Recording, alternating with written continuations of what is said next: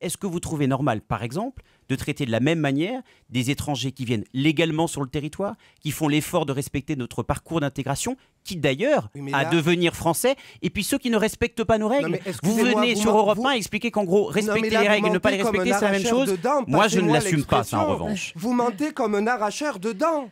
Parce que Je- si vous Je connaissez. ne suis pas dentiste si et je ne suis pas issu de parents Eh- eh dentistes, bien- donc je n'ai pas eh l'habitude d'arracher les dents de qui que ce soit. Vous devriez Tout vous simplement d'imposer les règles et les valeurs de la République, c'est déjà pas mal. J'en suis sûr.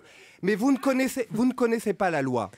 Ah. Pour ce qui est du sujet que l'on évoque, les naturalisations, il est faux de dire que nous naturalisons en France des gens qui sont présents sur le territoire illégalement. Ça n'arrive que dans les rêves Ah bah alors. euh, que vous faites au comité exécutif Ah bon Ah de bah moi, je vais vous donner- Alors, Ah je vais bah, donner un chiffre. Je donne un chiffre. Je donne un chiffre, Ah monsieur. Dans Messieurs, les préfectures, Patrice pour Bessac. être- pour Merci. Là- Merci, là- Patrice. là, je crois que Pardon. vous Alors, êtes- après 14 ans de résidence en moyenne, 44% des immigrés vivant en France ont été euh, naturalisés. Ça, c'est euh, l'association France Terre d'Asile qui signale ce Mais chiffre. bien sûr, mais attendez, Et le public Patrice réagit tout de Bessac suite. est- sympathique, mais il est le seul à penser ce qu'il pense.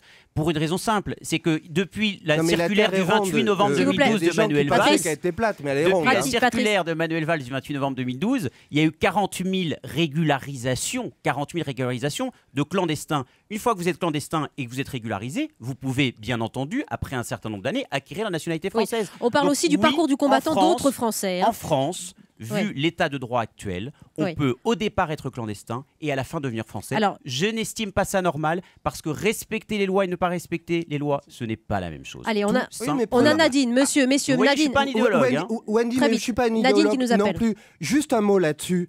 Il y a des Ni un gens, arracheur de dents d'ailleurs. notamment des Espagnols, qui sont venus en France illégalement, par exemple à, à cause de la guerre.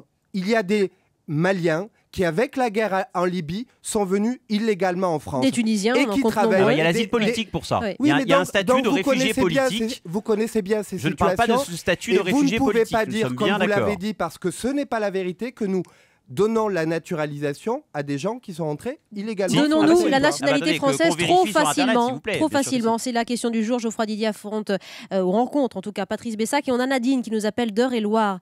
Euh, bonjour Nadine, vous vouliez témoigner, Oui, réagir. C'est pas Nadine. Morano. Non, Non, je crois je pas, ne non. pas Nadine Je crois Morano.